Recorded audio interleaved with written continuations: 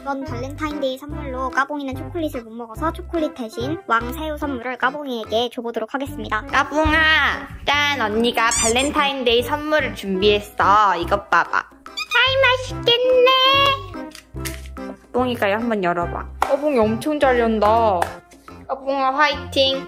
까봉아 거의 다 됐어. 까봉아 리본 빠졌다. 대박.